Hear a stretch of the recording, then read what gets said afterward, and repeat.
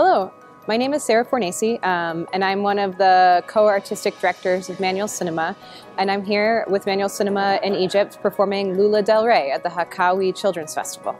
Our show, Lula del Rey, is hopefully inspiring to young girls. We think it's important to show women on screen, um, especially because in film there aren't enough women represented. Um, in front of the camera or behind the camera, not enough women making the stories, not enough stories being told about women.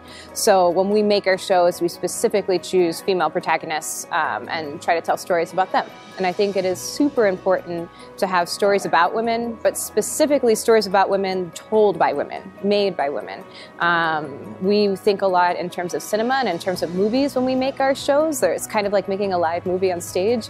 And we want to think about the female gaze, like how women are represented, looking with them and looking through women's eyes and not just looking at them when we see them on screen. So that's something we carry with us in our work everywhere, and I'm really proud to carry it here to Egypt. And I hope that everyone in the audience likes it, but especially the girls.